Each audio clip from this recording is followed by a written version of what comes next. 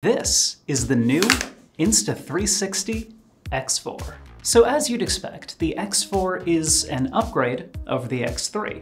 It has a better image sensor, now capable of 8K quality at up to 30 FPS, and it still does 5.7K but now up to 60 frames per second. But a new image sensor is to be expected from any update to an action camera. That's not huge news. What's more interesting here is all of the updates to the software. See, the Insta360 X4 has Bluetooth, meaning this can connect to the comm system that's already on my helmet and record audio straight from there. If you've watched Jalopnik motorcycle videos, you might be used to my silver helmet that is just covered in microphone cables and tape and adapters. It's a mess. With this, I don't need any of that. The sound does take a hit relative to the prior setup that I've been running, but that's only an issue if you're coming from such a motovlog style kit. See, that's one great benefit for motorcyclists, but there's more.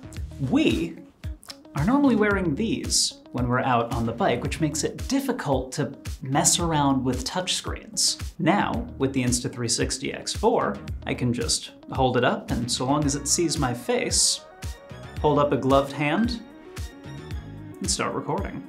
Or hold up a gloved hand and stop.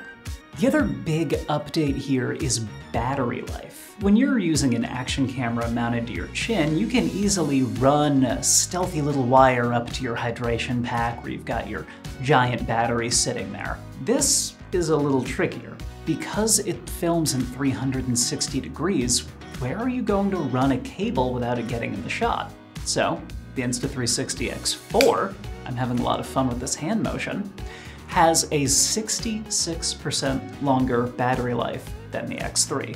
The trade-off is that the battery is physically different. It's physically larger than its predecessor, so none of your X3 batteries will fit. The Insta360 X4 carries over Me mode from the previous camera, but now at up to 120 frames per second. Get all your fancy Wachowski sisters speed ramping going on.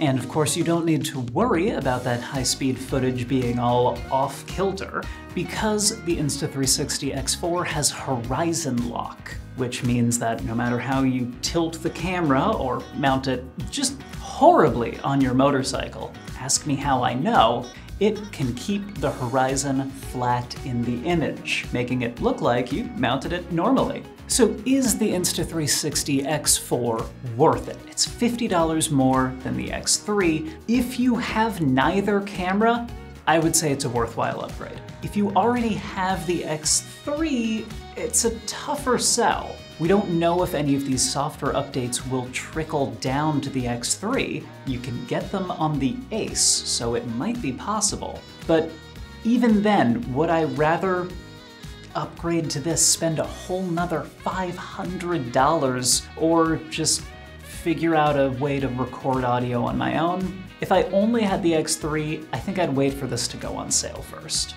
But if you don't have anything and you're looking to get your start in motovlogging, it's a hell of an option.